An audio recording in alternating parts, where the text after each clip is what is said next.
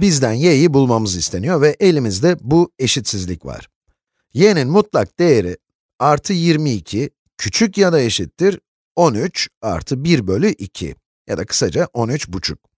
Eşitsizliğin sol tarafındaki y'nin mutlak değerini yalnız bırakmak, belki de başlamak için en iyi yerdir. Ve bunu yapmanın en iyi yolu, eşitsizliğin her iki tarafından da 22 çıkarmaktır. Her iki tarafından da 22. Evet, çıkaralım. Sol tarafta bunlar birbirine götürür. Zaten esas istediğimiz de buydu. Ve sadece y'nin mutlak değeri küçük ya da eşittir ifadesi kaldı. Ve sonra da, sonra da 13,5 eksi 22. Bunu burada tekrar yapayım. 13,5 eksi 22.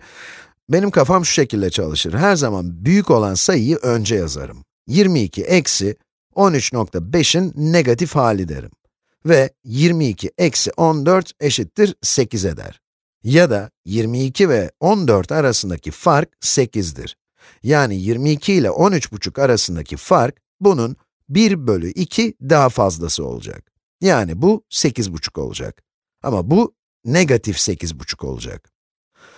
y'nin mutlak değeri küçük ya da eşittir negatif 8,5 sonucuna ulaştık. Burada bir duralım. Çünkü bir şeyin mutlak değerini aldığınızda nasıl bir cevaba ulaşacağınızı biliyor musunuz? Eğer size herhangi bir sayının mutlak değerini söylersem, mesela a'nın mutlak değeri eşittir x olsun. x hakkında ne biliyorsunuz?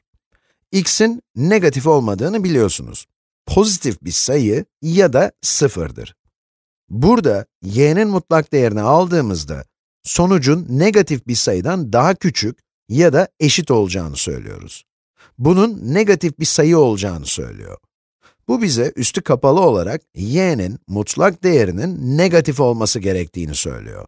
Sadece negatif olması gerektiğini değil, negatif 8.5'ten, 8.5'tan küçük ya da ona eşit olması gerekiyor.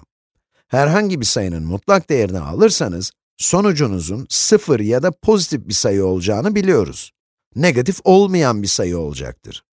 Mutlak değerini içine koyduğunuzda, negatif bir sayı, özellikle de negatif 8,5'tan küçük olan bir sayı yok. Yani bu problem için bir çözüm yok. Bunu doğrulayacak bir y bulamazsınız, yani çözüm yok.